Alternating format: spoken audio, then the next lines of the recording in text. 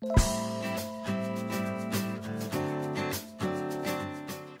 ่อฝ่ายชายทนไม่ไหว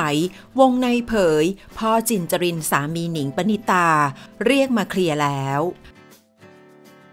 จากกรณีหนิงปณิตา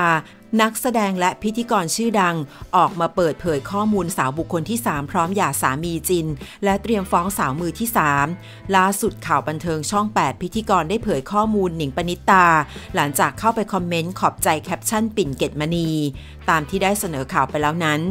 ส่วนเรื่องการหย่าหนิงบอกจะหย่ากันแล้ว ต้องมีเรื่องเอกสารข้อตกลง ตอนนี้กำลังพูดคุยกันเรื่องค่าเลี้ยงดู จะเป็นค่าลมปากไม่ได้ ต้องเป็นลายลักษณ์อักษร เผื่อวันหนึ่งพี่จินไปมีครอบครัวอื่นแล้วมีลูก สิ่งที่พูดไว้อาจไม่ได้เป็นไปตามที่พูด พี่จินเป็นคนเสนอ เพราะเขาอยากหย่าพี่หนิงเซ็นให้แล้ว แต่พี่จินยังไม่มาจัดการเรื่องเอกสารเลย ใบนี้ยังไม่ใช่ใบหย่าเป็นใบข้อตกลง แต่ผู้หญิงทางฝั่งนู้นเหมือนเอาไปโพธนาว่าเขาหย่ากันแล้ว จนเกิดเป็นข่าวหย่าขึ้นมา